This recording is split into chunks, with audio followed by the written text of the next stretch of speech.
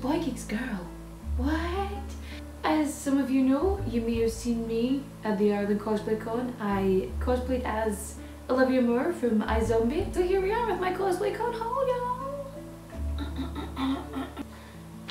so there's this awesome alternative dark uh, musician slash comic book writer, illustrator person um, called Venus DeVilo.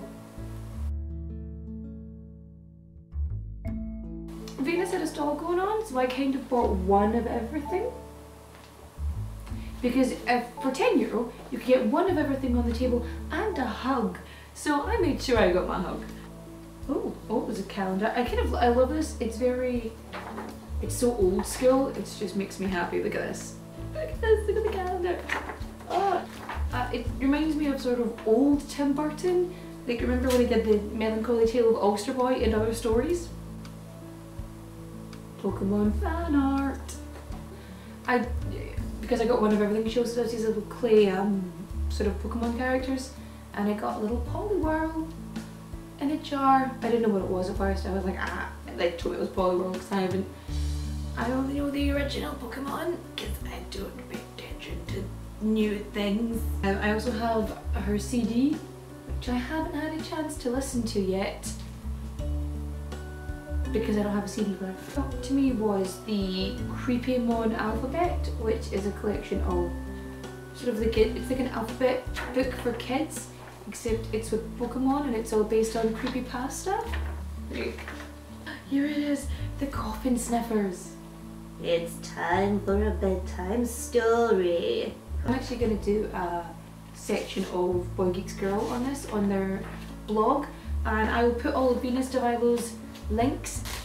I didn't really buy anything for the baby because um, I think he's still a little bit too young to read about coffin sniffers. And he's old enough, I will show him.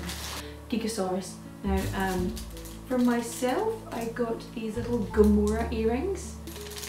Gamora! Ooh! Here we go, take out the packaging so you can actually get a proper and this is by Geekosaurus. Look at this, it's 3D! Wait, wait, wait. Ooh, you can see the back of it. Um, with a little teapot and drink me thing. And here you go, yay! Um, I got this for my, for Michael's daughter. See, like, fun for all the family. I mean, otherwise it's the kind of thing I would have just bought for myself. we both have a Monster High doll collection, so There's this brown comic that happens to be from Derry called NN Comics and they have this comic called Dura 2030. Ooh, from a sleeve.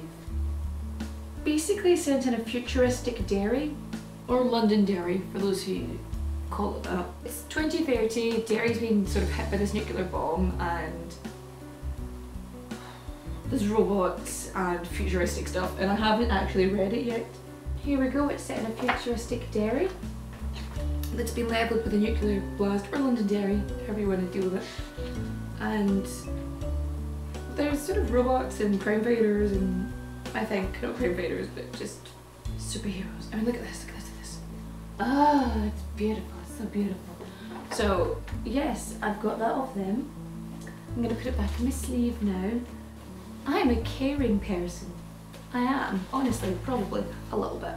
Got this from the NN Comics guys as well. Uh, it's a Doctor Who print, which I thought was quite cute, and I got that for Michael. So, because I'm nice like that. I'm very nice like that. I get gifts for everybody when I'm away. Gifts that they like. Not just candles, Michael, just saying what I everything I got at the Ireland Cosplay Con was my very first video on on my own from the Boy Geeks Girl channel. Go me, I did so. But thank you for making it this far, I suppose. And if you liked the video, just hit that like button, give me a thumbs up because it's nice. If you like geeky things, and videos that will be better than this one, subscribe. If you, you know, didn't like the video, just subscribe anyway because, you know, I might have something you like eventually and it's better to know that I'm there. And Nanu Nanu live long and prosper. Bye guys.